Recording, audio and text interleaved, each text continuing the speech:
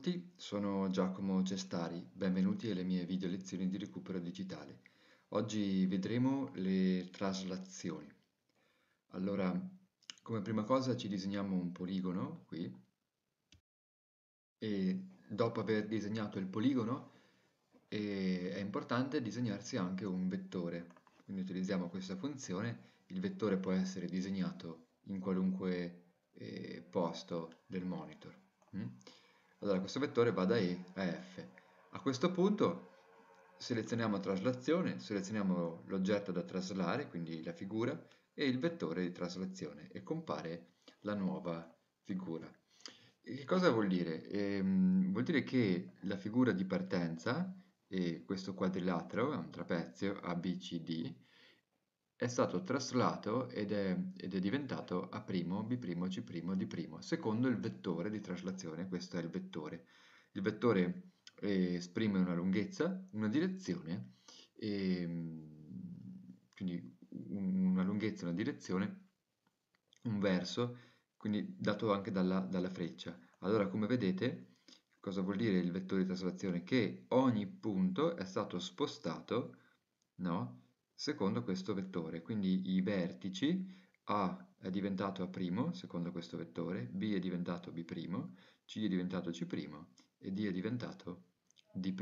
Il vettore potevo metterlo esattamente dove, dove volevo. Eh? Ecco che GeoGebra ci torna utile perché noi possiamo spostare F nel piano, il punto F, e vedo dove finisce questa, questa figura. E, ehm, è chiaro che quello che viene mantenuto è sempre che ogni vertice, ogni punto di questa figura viene traslato secondo il vettore, quindi A va in A' secondo questo vettore. E ripeto, questo vettore potevo metterlo esattamente in qualsiasi eh, punto del, del, dello spazio. Vi faccio vedere cosa accade con un'altra figura, eh, ad esempio un, un rettangolo e eh, un altro vettore un po' più corto. Mm? e F. È chiaro che A finisce in A', B finisce in B', C finisce in C', D finisce in D'.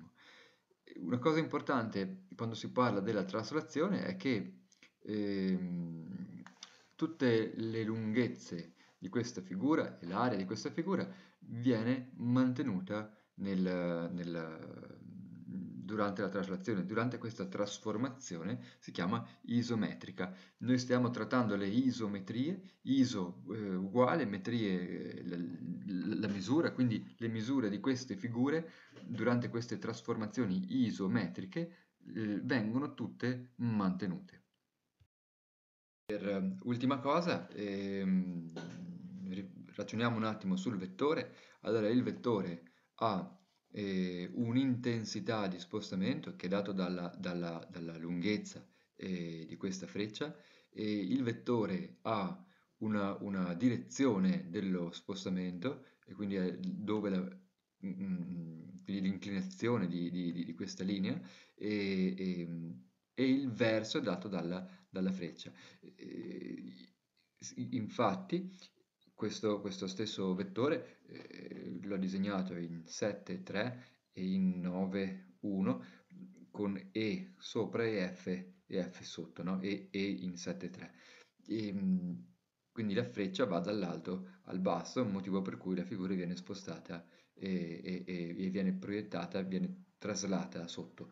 Nel momento in cui io, in, se io inverto questi due punti, metto la E sotto e la F sopra, è chiaro che la figura deve terminare sopra, no? Perché si segue il verso della figura che è dato dalla, dalla, dalla freccia. E quindi questo è un po', un po il, il, il tutto. Bene, spero che questo video vi sia stato d'aiuto, grazie e alla prossima video lezione.